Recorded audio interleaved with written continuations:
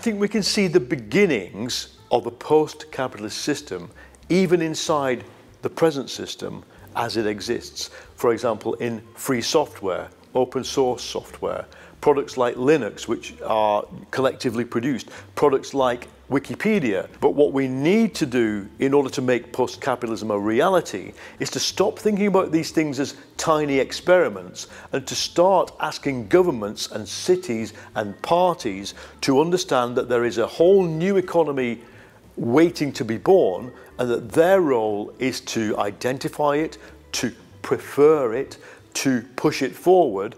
So that's where I think post-capitalism come from. It's not um, some grand historic process that happens without human intervention, nor is it a radical plan to rip up capitalism as it exists. It grows spontaneously and slowly from the contradiction between information, which wants to be free, and a market system which at the moment is just not working. I see the transition to post-capitalism as taking a long time. So it's not like a kind of voluntaristic attack uh, on any one particular structure. But I think that if in the end we manage to move some of the services and goods we now consume through the market into a sector that could be described as non-market. That is, as a, a, collaborative sector where we produce for free and for sharing, then of course, everybody who is trying to monetize and commercialize that activity will lose. In the sense that, you know, I want us to create cooperatives for local minicab uh, systems Cooperatives where the minicab driver gets all the upside and so does the user, not a company that is extracting economic rent from the whole process. So yes, some of these so-called unicorn uh, new companies could not exist because we will we would have to regulate the economy in such a way that the minicab driver and the passenger get the money, not some company invented in Silicon Valley whose technology is not unique and not particularly innovative. I think Uber, Airbnb, TaskRabbit, Deliveroo, which we have in Britain, are, we're going to see them like Alta Vista and Yahoo and um, Lycos. Do you remember those search engines in the early period of the internet? And everybody said, this is the business model. Of course, these, these companies died.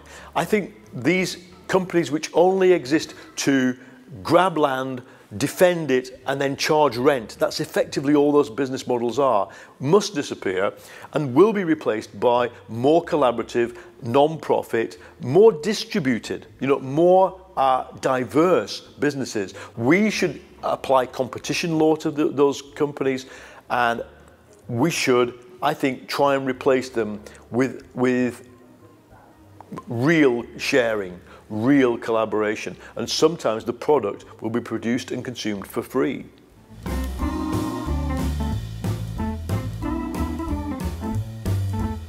In my book, Post Capitalism, I say right up front we have to ditch neoliberalism in order to save globalization. And I wrote that one year before Brexit, and I think it is absolutely confirmed by Brexit. Brexit was done by people who believe they are defending the free market model against Europe. It's an illusion, but the result is going to be the breakup of a major institution of globalization. I don't want that to happen. I would like to reform that institution, the European Union, radically. But I think, of course, we must resist the national-centred, uh, protectionist um, and xenophobic response to the crisis. But we can't pretend the crisis does not exist.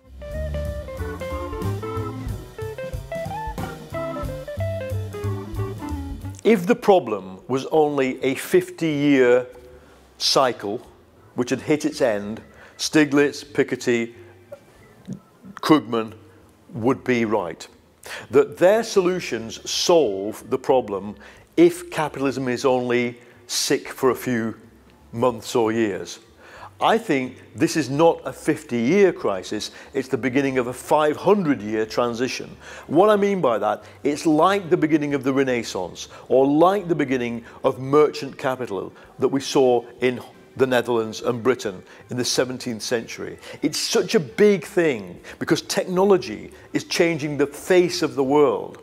Now, the problem for what we, let's call them the new Keynesians, those who want the state to intervene, is that the state can only tax a market, and I think that information technology will shrink the market. It is creating a non-market alongside the market, and it means that all the credit in the world, which we need to stabilize and make safe, is ultimately a promise to be repaid from market expansion that may never happen. And if I'm right, then of course Piketty and Stiglitz and Krugman can solve the problem for 10 years, but they can't solve the ultimate problem that the dynamism of capitalism is dying because information technology is so different.